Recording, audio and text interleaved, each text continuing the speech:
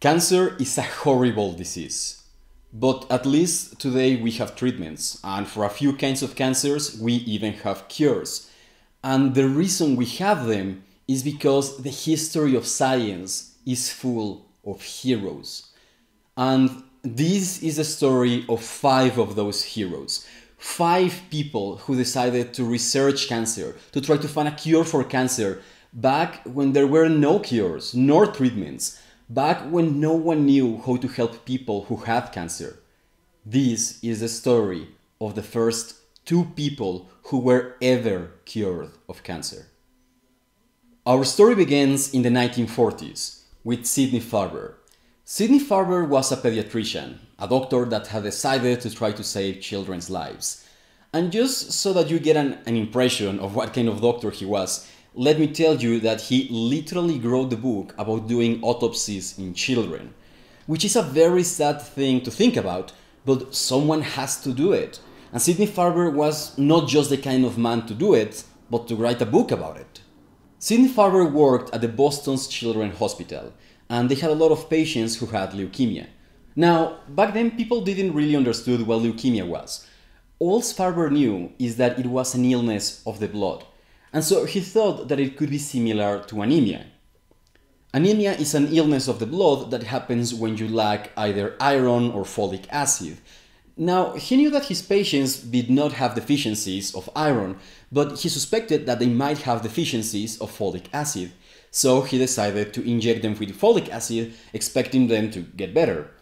But instead, something really weird happened. All his patients started getting more sick. Sidney was very confused, but he reasoned in the following way. Well, if my patients are getting sicker when I give them folic acid, then maybe they will get healthier if I deprive them from folic acid. So Sidney went with his good friend Yellapragada Subbarow, an Indian doctor who is a hero of medicine in his own right. Sidney told him what he had learned about the connection between folic acid and leukemia and Yellapragada had an idea. Maybe they couldn't stop their patients from making folic acid, but maybe he could create a substance that would bind to folic acid, neutralizing it, so that the cells of the patients would not be able to absorb it. Yellapragada worked late at night in his lab, making many different substances he thought could work and he sent them to Sidney Farber. Sidney Farber tested them in his lab until they found one substance that seemed to work as they wanted aminopterin. Sidney Farber started giving his patients aminopterin, and it was a miracle. All of a sudden, all of these children with leukemia were not tired anymore. All of a sudden, they had appetite, they were not dizzy, they could stand up and run and play and go to school. They were cured. Sidney Farber must have been so happy. He had cured leukemia, he had found a cure for cancer. But then one of the children came back. He had symptoms again. Sidney didn't worry too much, they just restarted the aminopterin treatment.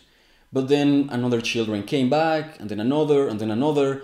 Eventually, all the children came back with symptoms. Sidney Farber restarted the aminopterin treatments, and they worked. But every time the children would get better for a shorter time until they would not get better at all. And eventually, all the children died. It must have been devastating. It must have been heartbreaking to think that he had done it, that he had saved all those children's lives, only to be wrong. But he had to remember that he had not entirely failed. The children did get better at least for a little while. Then Sidney Farber did what had to be done, and he made autopsies in all of his patients. Remember that he had literally written a book about it. And he found something interesting. The bone marrow in all of these children was corrupted, and this corrupted bone marrow was producing corrupted blood cells, and this is what was killing his patients.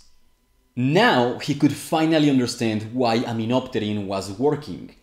By depriving the cells from folic acid, aminopterin was basically starving them to death.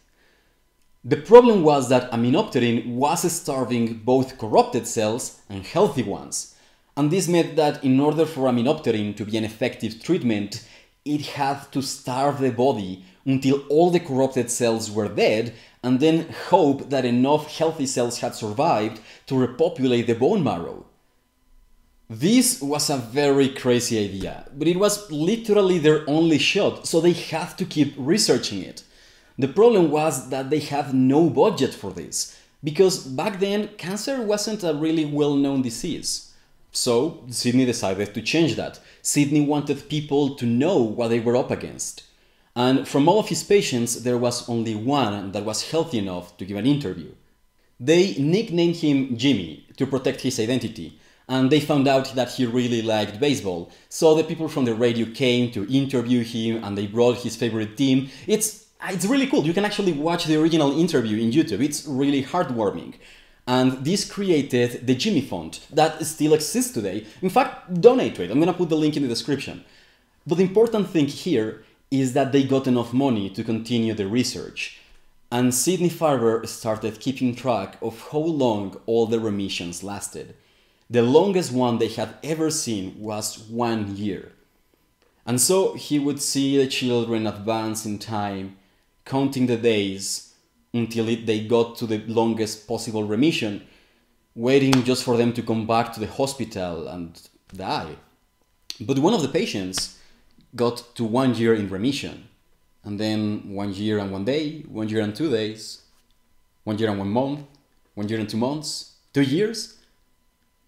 Eventually, it became clear that this child was never coming back. And as luck would have it, it was the same child they had interviewed for, for the radio. His name was Einar Gustafson, and he became, as far as we know, the first person ever to be cured of cancer. It was an incredible achievement. This illness had never been cured before, and yet they had done it. It was proof. It was proof that it could be done. It was proof that chemotherapy could work. Sidney Farber continued his research with aminopterin and with other substances, and he managed to cure several more patients. But all of them were children, Sidney knew that if he wanted chemotherapy to be a more effective treatment and to be able to help people with many different kinds of cancer, he would need more people to research it as well. Luckily, his call was heard by Jane and Louis Wright. Jane Wright was a doctor, and she came from a very interesting family. Her grandfather had been a slave, who, when he became free, studied medicine and became a doctor. Her stepfather was the first black man to graduate from Yale Medical College, and her biological father was one of the first men to graduate from Harvard Medical College. And she herself graduated with honors from New York Medical School. So, yeah, they were a very impressive family. Jane and her father Louis heard about chemotherapy and they were inspired by Sidney and they began looking for some substance that could kill one specific kind of cell bone marrow cells. At this point, I should mention that there was a very curious syndrome going on with some veterans of the First World War. You see, many veterans have anemia, but it was not the kind of anemia that could be cured with iron or folic acid. And as these veterans started to die and people began doing autopsies in them, they found that some of their bones were empty. There was no traces of bone marrow at all. And the only thing all of these veterans had in common was that they all had been exposed to mustard gas.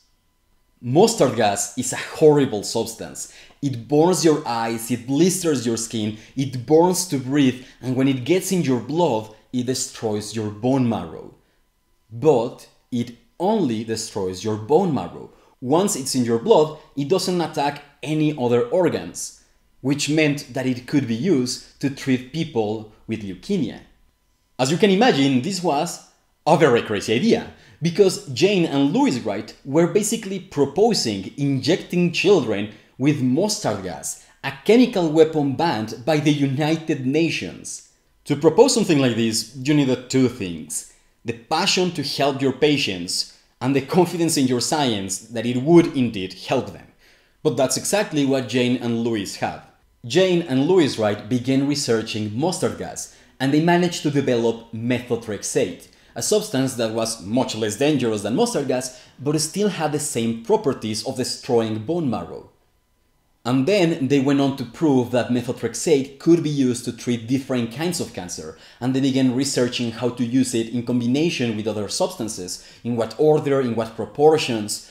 And in this way, they greatly improved the perception of chemotherapy, so that many other people in the medical community realized its big potential. And so Sidney had forged the weapon. Jane and Louis Wright had improved it all they needed was a new hero to wield it and finally kill the beast. And his name was Min Chiu Li.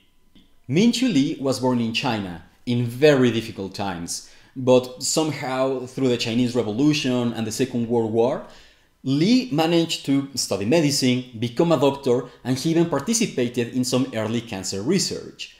They had heard of this new treatment called chemotherapy and they tried to replicate the results, although they were unable to do so.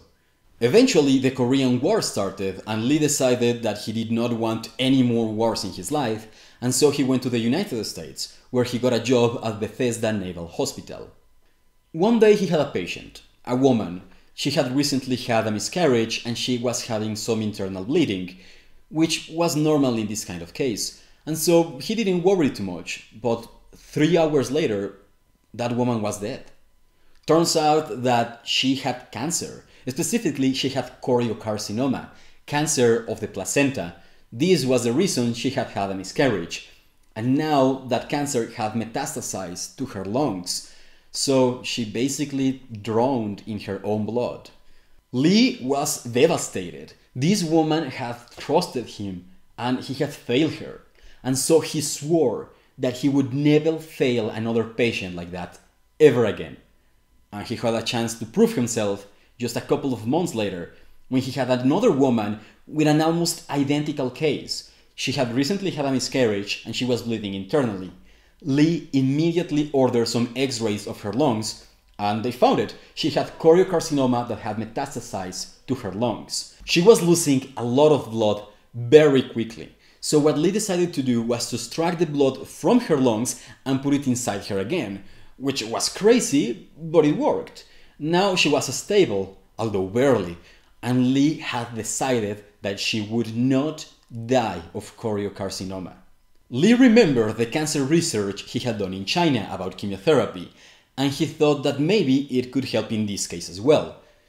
And so they started giving her chemotherapy, and the results were amazing. They could see in the x ray how the tumors were shrinking and they were vanishing. Everyone was very happy, but none Min Chiu Li. He was not taking any chances, so he ordered all the tests and analyzed everything very carefully, and he found something strange. There was a weird hormone in the blood of his patient. He reasoned that since cancer cells are corrupted normal cells, they were producing corrupted versions of normal hormones. But this was great because this meant that by tracking the amount of this hormone in the blood, he could track the amount of cancer in his patient. One day they took an x ray of the patient and they could not find any traces of cancer left in her, and they were ready to discharge her from the hospital. But Min was not ready because he could still see some of that weird hormone in her blood, which to him meant that she still must have cancer somewhere in her body, even if it was too small to appear in x rays.